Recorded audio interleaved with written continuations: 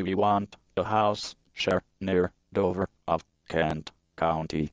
Are you a potential roommate and want to find similar people close to Dover? Then a property view can help you with this.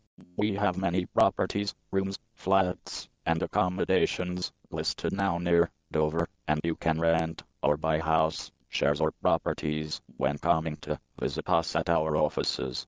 We have made many tenants happy near Dover. Visit us at propertyview.com.